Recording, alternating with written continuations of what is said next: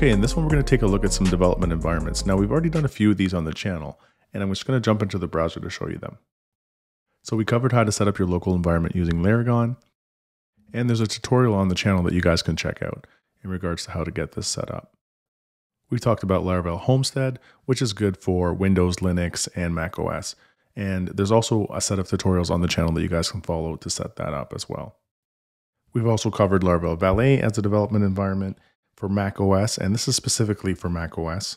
This one runs Nginx in the background and uses Valet to proxy domains on your local development or your local machine. Valet is kind of nice out of the box because it supports a lot of different frameworks. So things like Magento, Slim Micro Framework, WordPress, Symfony. Uh, there's a list on the Laravel.com that you guys can check out. It's also very fast and has a very light footprint, around 7 megs of RAM or so. And you have to be familiar with Homebrew for this one, which is also covered on the channel. In order to get really familiar with Valet, you should be able to use a command line interface. And we've covered some terminal stuff on this channel as well. It does take some getting used to, and it might be a little bit intimidating for new users or beginners. Now, there's one that we haven't actually covered on the channel yet. It's called Laravel Sail. And that one has a lot of additional benefits that outweigh the other two. So Sail is a convenient way for interacting with Docker containers. And if you're familiar with Docker, this one will make sense. And if you are using a Docker environment, this is the one that you want to reach for. Perhaps at a future date, I'll cover this one on the channel as well. Now, there's a new one that's been out for about half a year or so, and it's been readily adopted and it's pretty good. Now, the thing is, you got to remember just use whatever works for you. So, the one that we're going to take a look at today, this one is called Herd. So, Laravel Herd is another alternative that includes everything that you need to get started with Laravel development out of the box. So, once again, this one's only available for Mac OS, so you need something greater than Mac OS version 12 or Monterey uh, for this to work out. So we're just going to quickly download this.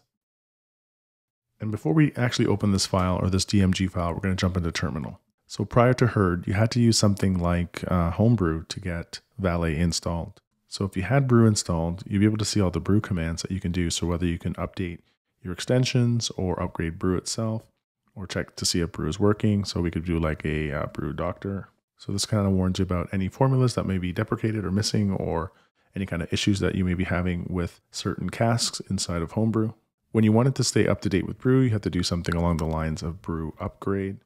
So with Brew Upgrade, that would update all of the cellars or all of the things that you've installed with Homebrew. And we could also run commands like Brew Outdated to see if there were any outdated installs. We could also do something like a Brew Update to update Homebrew itself now, whenever there was an update to Laravel Valet, you had to do something along the lines of Valet on latest. That would be if you have Valet installed, and you would know that you'd have Valet installed by just typing Valet, and Valet would give you a list of all these commands. Now, pay particular attention to some of these commands as they are also available with a flavor of herd, meaning that you would prefix the word herd instead of Valet to access some of these commands. And that is because Herd is built on top of Laravel Valet. It has its own binaries and it doesn't require Homebrew to work. And you also have a choice of using the command line interface, something like Terminal, iTerm, or Warp, or something along those lines, or you can use the GUI approach, the graphical user interface. Now, once again, there's a bunch of tutorials on the channel in regards to Laravel Valet, Homestead, Laragon, and ways to set up your PHP or your development environment. All right, let's install Laravel Herd.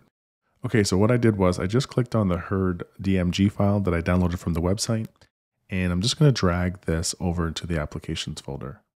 And once it's installed, we'll just close this. Now you would open Herd like any other application on your Mac system. So you can use something like Spotlight, type in Herd, and we'll walk through the installer. So what's nice is Herd already detected that I already have Valet running on my system and it wants me to stop Valet before I install or before I proceed with the rest of the installation steps for Herd. Now you could do this in the terminal. I could do like a Valet stop, but they've really conveniently just set it up right here with this button. So you would just click Valet stop and this would do the exact same thing. And then we'll continue. You may also have noticed that Herd downloaded a version of PHP 8.2. But if I jump back to terminal over here and I check the version here, you see that I'm running 8.3 and this 8.3 installation is being ran through Homebrew. So let's click on this and continue. And it's also your choice if you want to have Herd start automatically when your system starts up. You can check that if you want, or in my case, I'm just going to leave that unchecked. I'm to say, let's get started. So Laravel Herd is located just at the top here. If you were to click on the Herd logo, you'll see that you have settings, You can check for updates. So we're using the latest version as of this recording, 1.32. We have versions of PHP 8.2 and 8.0. And it looks like there is a shortcut like command 1 and command 2 to switch between those versions. We can see our PHP ini file. We can quit and we can stop all services. And it looks like there's only one service running right now. And we can check our settings. Now your settings are going to be slightly different than mine, but what is going to be common is you're going to have a herd folder in which you will keep all your projects. I have additional folder uh, where I keep some other projects, so code and projects using Laravel Valet. Sites will list all your projects. Now, before I jump to the PHP tab, I want to check something out. And that brings up my .zshrc file. So I'm using the ZSH shell. You could be using bash or possibly fish or some other shell. And this is an alias that I'm using, so it's equivalent to typing this. In this case, I asked VS Code to open up this file here, which is the .zshrc file. And you'll see at the very bottom of the file, Herd added some of its export paths into the .zshrc file. Now this might be your bash file or another shell that you're using. And if you're not familiar with .zsh or this kind of shell, there is a tutorial on this channel that you guys can check out to get a little more familiar with that. The reason I want to show you this is because this is going to come in useful later on when we want to uninstall Herd, or maybe you don't like it and you want to remove it from your system. So you do need to know where your .zshrc file is or your bash underscore rc file. So I want you to be aware of this because when you want to uninstall Herd, you'll need to know where this is. So we're going to jump over to PHP. And you notice that as far as Herd is concerned, there isn't a version of PHP installed that is 8.3 on my system but there actually is. And that was installed via Homebrew, like I said once again. So you'd only really choose one. You wouldn't be working with Herd and Valet per se. You probably would choose Herd, Valet, Homestead, Docker, Laravel Sail, or something along those lines. But just for the sake of demonstration and showing you guys this other alternative, I'm going to have both running. So I'm going to install 8.3 to be used with Laravel Herd. And I'm also going to take these two because I want to show you something a little later on. Now, you don't need every version of PHP, obviously. You just need whatever you're working on or whatever your project requires. Now, let's just take a look back at our ZSHRC file. And you notice that this is what Herd does. So Herd will keep track in this .zshrc file or bash file where the paths are for these installed versions of PHP. So because I installed all the way from 7.4 all the way to 8.3, they're listed here. So you do want to keep that in mind. Okay, next on the tab is Expose. I will cover this option in an upcoming video. Then we have shortcuts.